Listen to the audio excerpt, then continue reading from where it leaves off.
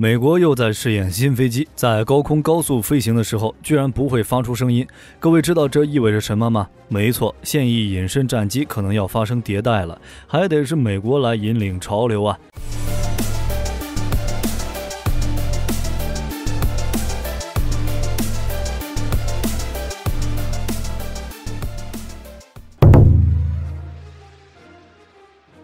战机想要实现隐身需要什么？低雷达特征，低红外特征。美国这次放出来的新飞机最大的突破，就是在高空高速飞行时不会发出过大的声音，意味着飞机与空气的摩擦力很小，带来的好处就是飞机红外特征会降低。要知道，即便是 F-22 战机在高速飞行时，也会不可避免地释放大量红外辐射。再加上尾喷口也会释放出强烈的红外信号，使得 F22 的红外特征更加明显。所以 F22 在进行雷达隐身处理的同时，也采取了一定的红外隐身措施。例如，利用二元尾喷口，通过使用冷却隔热技术降低外露部分的温度。S 型进气道也能对发动机的热部件起到遮蔽作用，但总体来说，F22 的红外隐身能力还是不足，尤其是面对新一代长波红外搜索跟踪系统。因为 F22 在进行超音速巡航时，除了发动机释放的热量以外，与空气剧烈摩擦的蒙皮也会释放出很大的热量，这些都是制约 F22 红外。隐身能力的因素，这两个因素哪怕只解决一个，也能让隐身战机实现迭代。如今，美国做到了，就是最近臭鼬工厂曝光的一架纯手工打造的神秘飞机，机头比机身还要长，在进行高空高速飞行时，还能保持极低噪声，降低机身与空气的摩擦力，从而实现低红外特征。几十年来，美国已经发展了许多验证机，每一款验证机都有着不同的设计要求，比如验证超音速飞行的 X 一、X 二。验证可变后掠翼技术的 X 五，验证核动力的 X 六，验证垂直起降的 X 幺三、X 幺四等等一系列验证机，虽然有一部分失败了，但也有许多技术得到了验证，并且还突破了多项人类航空史上的记录。而这一架 X 验证机又能创造什么样的历史呢？身为美国最新一代验证机，X59 是一款非常激进的飞机，无论是正面还是侧面都拥有令人印象深刻的外观。从公布的照片来看，这架 X 五九超音速飞机基本完成了组装，制造多年的神秘飞机也终于较为完整的出现在镜头前。X 五九是 NASA 低音爆飞行验证项目发展而来，也是第一种解决音爆、实现静音超音速飞行的飞机。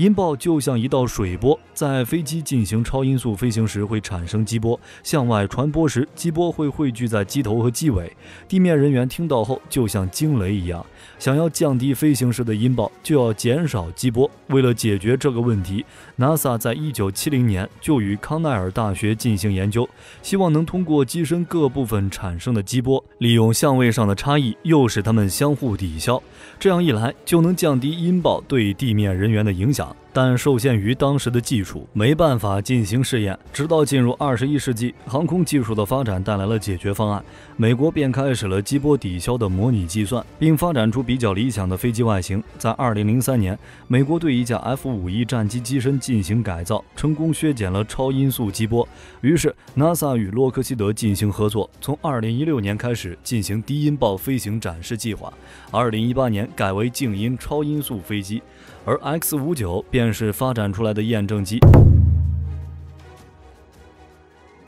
为了满足 NASA 对 X 五九项目的要求，抽油工厂采用了四项关键技术：声音塑形设计、低噪声集成推进系统、超声速自然层流后掠翼，以及最重要的座舱内可视的外部视镜系统。在外形上，X59 与我们所熟知的飞机外形差距非常大。为了抵消激波，X59 的机头非常长，采用了大后掠三角翼、长机体以及微型尾翼的布局，整体偏向细长一些。两台涡扇发动机安装在飞机尾背，进气道被三角翼遮挡。单座驾驶舱也设计为流线型机身。按照设计师的标准，X59 最大速度可以达到1.5马赫。通过狭长的机身设计，可以在突破音障时降低空气震波的凝结作用，可以将飞行噪音维持在七十五分贝左右。在效果上和用力关车门的音量相似。这就是 X 五九的目标。当 X 五九以一千四百公里每小时的速度飞行时，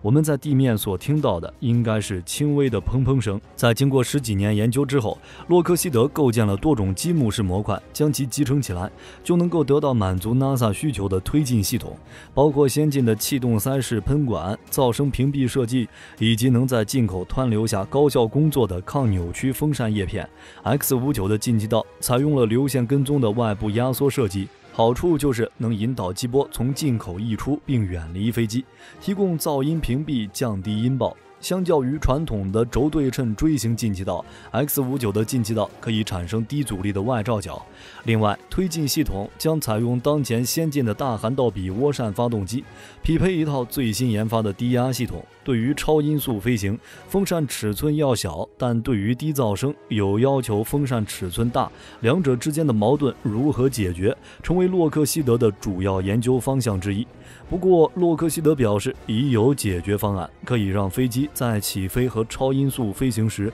有一个良好表现。另外就是超声速自然层流后掠翼，通过设计具有合理压力梯度的机翼，就可以得到自然层流、延迟层流到湍流的变化速度。此前 NLF 机翼主要适用于小型飞机或小后掠翼的设计，但在 X 五九上遇到的问题有些不一样。洛克希德面临的问题是，随着机翼后掠角的增大，三维流场会变得不稳定，使得层流会在考级机翼前缘处变成湍流。虽然洛克希德曾与 Air 公司合作研究过层流机翼，但这项计划对于当前的低噪声和声爆塑形设计并不适用。目前 NLF 技术成熟度依旧很低，但潜力巨大。NASA 在过去几年开展了大量超声速自然层流大后掠翼的研究，这对于实现 X 五九设计要求至关重要。在降低飞行阻力的同时，还能保证声爆塑形特征的完整性。这些是用来解决飞机在起飞和超音速飞行时的问题。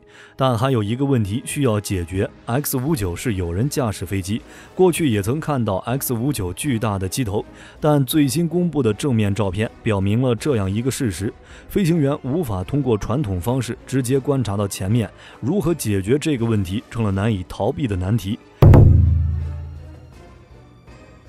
大后掠翼的特点决定飞机在起降时采用大迎角。导致驾驶舱视野被长长的机头遮挡。协和号采用了下垂式机头设计。如果超音速飞机的理想设计，只能选择尖头飞镖状的机头。从动力学角度来说，这种形状可能还不错，专门用来减少音爆。毕竟，音爆是限制超音速飞机在陆地上进行超音速飞行的理由。洛克希德利用现代技术的优势，避免了复杂结构和质量增加，但缺少了协和号那些复杂的机构。比如特殊的滑动挡风玻璃将会导致飞行员很难看到前方，所以洛克希德专门为 X 五九开发了外部视景系统，带有安装在机头上表面的前视 4K 高清摄像系统，同时配合使用双摄像头多光谱红外增强视觉系统。在新公布的这些照片中可以看到，XVS 使用的 4K 摄像机的物镜，物镜位于机头上方，大致位置在压翼的上方。这套系统在2021年就已经完成了测试。所谓的外部视景系统，其实就是传感器、计算机以及显示技术的结合。通过 4K 摄像头将外界环境显示在主屏幕上，飞机底部还拥有一个可伸缩摄像头作为信号源，而上方的摄像头与飞行员传统视线保持一致，引导飞行员前往机场，警告他们附近有飞机，并为机场进出、起飞以及着陆提供额外的视觉辅助。在为 X 五九配备 XVS 之前，这项技术就已经在比奇 UC 幺二八公务机上进行了测试，在进行试飞时。一名飞行员作为空中国王的驾驶舱内，通过前风挡观察外界；而另一位飞行员则是坐在机舱内，通过 XVS 获得外部感知能力。而这才是 X 五九真正实现需求的最主要设计之一。目前，X 五九项目分为三个阶段。第一阶段是测试飞行，原定去年开始进行，目的是验证 X 五九的基本性能与安全性，确保飞机能在飞行中承受预期载荷。第二阶段为噪音测试，将在地面测试和试飞结束之后，在美国空域进行常态飞行试验。最后一个阶段将在2024到2026年进行。NASA 将让 X-59 飞越数个人口聚集的乡镇和城市区域，并在飞行任务结束后对当地居民进行访问，了解 X-59 在飞越上空时对人们的噪音影响程度。其实，关于超音速飞机的研究，美国早就开始了。在五十年代，随着亚音速客机的普及以及第一种实用化超音速战机 F 幺零七的出现，航空界就不断追求飞行速度快一点，再快一点，一度将超音速飞机视为未来发展方向，并对超音速飞机的发展也一直保持非常乐观的态度。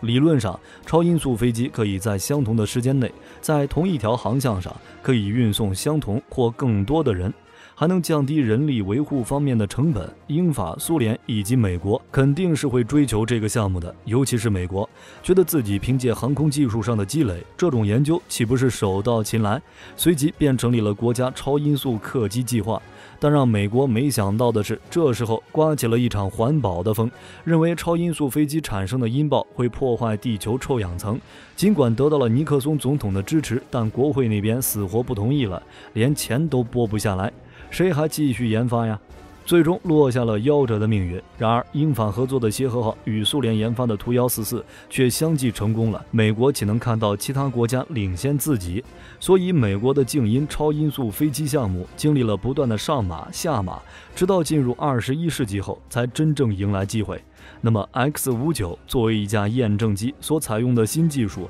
能不能运用在战斗机上呢？战斗机在进行超音速飞行时产生的音爆是不会影响到飞行员的，因为战斗机驾驶舱在关闭后能隔绝一部分噪音，再加上采用特殊材料的座舱比例，降噪效果要比一般风挡好上不少。飞行员的头盔除了具备通信、防紫外线以及瞄准的功能以外，最后一个重要功能就是降噪。飞行员的头盔可以说是绝对的密闭隔音，与外界的一切声音都隔绝了。甚至说，飞机突破音速后，连原本发动机的噪音都会消失。所以，静音技术对于飞行员没用，唯一有用的应该就是隐身方面了。战机隐身技术的发展完全跟不上反隐身技术发展速度，未来出现一种根据战机超音速飞行产生的激波来判断战机位置的防御系统也不是不可能。但就目前发展来说，战机想要用上静音超音速飞行不大有可能。最简单的问题就是气动布局和隐身，总不能将战机也设计成 X 五九那种长机头吧？再加上战机的机动动作也比较多，战机超音速飞行时会产生激波，使飞行阻力增加，激波会逐渐在战机前方堆积，在突破音障时会导致流经机翼和机身表面的气流发生紊乱，机体产生剧烈抖动，战机操作性变差，飞行员操作稍有不慎就会给飞行带来风险。为了让战机安全突破音障，各国科研机构想了不少招法，通过调整战机的气动布局，将气动中心后移以，以增强战机的纵向稳定性；研制新型涡轮喷气发动机，降低涵道比，进一步提升战机动力；改用后掠翼翼型，以减小战机超音速飞行时的阻力等等。而静音只是减少了对战机没啥影响的音爆。看着 X 五九跟真剑一样的机头，火力军都觉得没戏。而且气动布局改变，在隐身性能也会随之改变。为了追求更全面的隐身，放弃现在已经经过试验的外形，简直就是丢西瓜捡芝麻，得不偿失。当然，静音超音速飞行是有用的，但不能根据 X 五九那样运用于战机。最好的是不改变当前气动布局，在不影响战机性能的情况下，来实现战机的静音超音速飞行。接下来就看各国发展了。如果美国的黑鸟侦察机运用上静音超音速飞行技术，能带来什么样的影响？会不会成为规则的改变者？好了，本期影片就到这里了，我是火力军，我们下期再见。